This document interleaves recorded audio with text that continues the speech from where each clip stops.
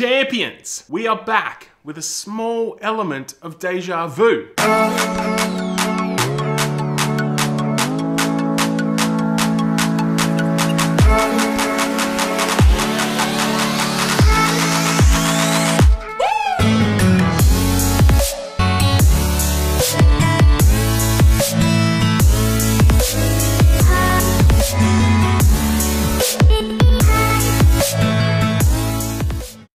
We go down that road, I'm Jax, this is JND Creations. If you're new here, please click that subscribe button and ring that bell, because if you weren't new here, then you know what I'm about to talk to you about. Do you remember this? This is the last build I did. Let's just get rid of that.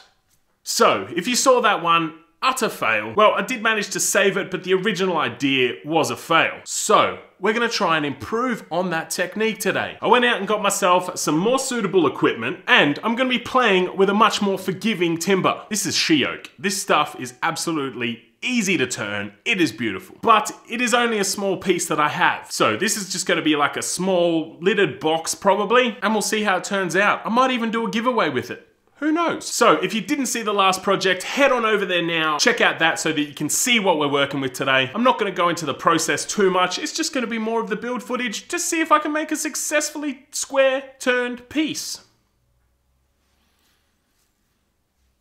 Shit's about to get weird.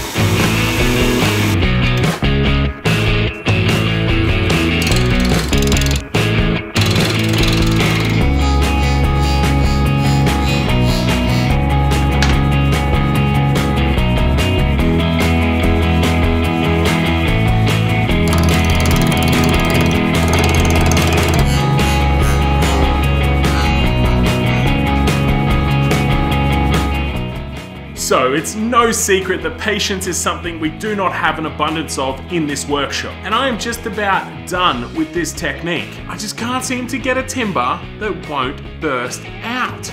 But I'm gonna push on with one more blank. She's marked out, ready to go, on both sides. I'm not sure what this is. I think it might be Jarrah, which isn't going to bode well for this experiment at all. But I am really struggling to find the right size piece of timber. I've got a ton of bowl blanks, but none of those will work. Well, they would, but I don't want to cut them up for this project because they're nice and I'm going to make some nice bowls out of them eventually. So, onto the Jarrah experiment.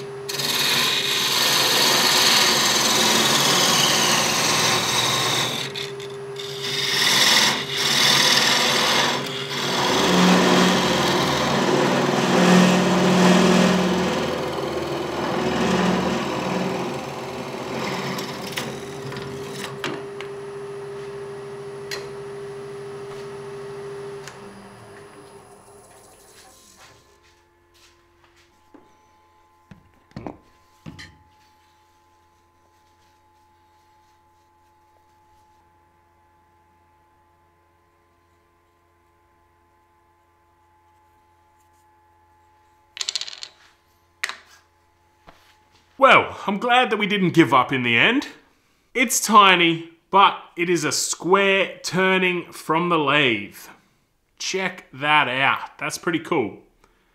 And there's a little bit of room inside for like a ring, something like that, you know, something small. The timber did turn out to be Jarrah, as I suspected at the start, but it was surprisingly easier to turn than I was anticipating that it would be. So pretty happy with the end results on this one. This is probably the smallest lidded box I've ever turned, I reckon. So I'm gonna be giving this one away to one of my Patreon subscribers, so if you want a chance to win this box, head on over to patreon.com forward slash Creations, sign up to become a Patreon supporter of the channel over there, and you'll go in the draw to win that little box. Every tier is eligible for an entry on this one, so you can sign up to any level you like. Once again, you saw me using the Custom Creations Custom Grit to finish this piece off. I did do a review on this stuff recently, and I've got a full set of finishing products to give away from Custom Creations. So if you'd like to win a set of step one and step two with the Custom Grit, as well as some liquid wax and some custom wax, head on over to my channel, check out my Custom Grit review review because details on how you can enter are in that video. And with any luck, the competition is still open for you to get your entry in. I will be drawing that competition after I hit the 2000 subscriber mark on my channel. So if you're not subscribed,